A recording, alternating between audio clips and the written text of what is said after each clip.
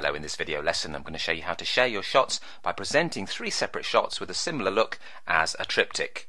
So to create our triptych image with three shots on one page, I'm going to use the print module by clicking here. So here we are in the print module and one place to start is to go to the template browser. If you scroll down to the bottom there you'll see a collection of cells that are called triptych and that's three cells in one page. So if we click to select that it automatically places the first selected image into the top cell. You can then shift click to select a range of photographs and it will drop them in automatically like so. This is a very quick way to work, but it's quite limited because if you want to change the order of the photographs, let's try and drag them around like so, you'll get a rude message saying you cannot reorder the photos using this option. You could shift click on different photographs to add different shots to the cells. You can command or control click to deselect an unwanted image, and then command clicking on another or control clicking on a PC to add a different shot, but it's still not a very friendly or easy way to reorder the images in your triptych. So what we're going to do is use the custom package option in the layout style to then take more control over our triptych. Before I start adding cells, I'm just going to go down to page setup and change it from portrait to landscape orientation so it will suit the layout of my triptych more effectively and then we can go to the cells option. Now because these are square shaped images, I want a square shaped cell. And I've actually created one earlier on by clicking here. You can see I've got a 4x4, but I'll just show you how I created that. If you go down to here and go to edit, you can type in a precise value. In fact, let's create a new one at 3 by 3 inches. Click add and that will appear to this option here. So I'm just going to click and hit backspace to delete this unwanted cell and I'm going to move this one into position like so. It's well worth going to rulers, guides and grids and turning on the grid snap and if we set it to snap to grid you can get the cells to align fairly effectively to the grid in the background. We've also got the guides all turned on so we can see rulers, page bleed and the grid itself of course.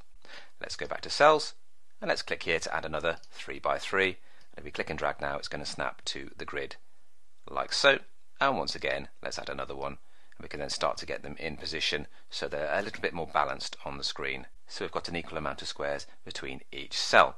You can increase the size of course by clicking and dragging on a cell, like so, and you can see we've now gone to 3.25 by 3.25 inches, and we can do the same with this one here, just to fill our page more effectively, and again with this one.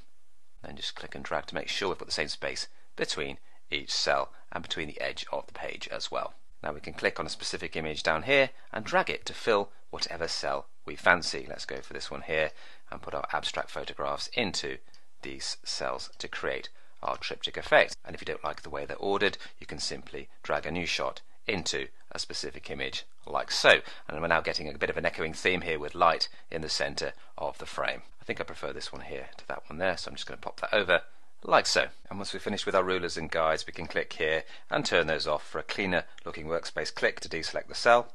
And if we go to page, you can add things such as a new background color and then pop up to image settings and add an inner stroke to each photograph and you can change the color there to make it stand out more effectively from the rest of the background. And you can tweak the width accordingly. Now, although we're creating a triptych in the print module, we're not going to turn it into a hard copy print. We're going to turn it into an image, and to do that, we can go print to JPEG file. And then we can just pop down to print to file and save it into a specific folder. I'm just going to call this one triptych so we know what it is and I'm going to click save to create a JPEG version in that folder. You can see it's rendering up the page now and we can then pop to library, click on import, browse to the folder you saved the photograph in. You can uncheck everything else to make sure you just bring this shot in. I'm going to add it to the Lightroom catalog without moving it.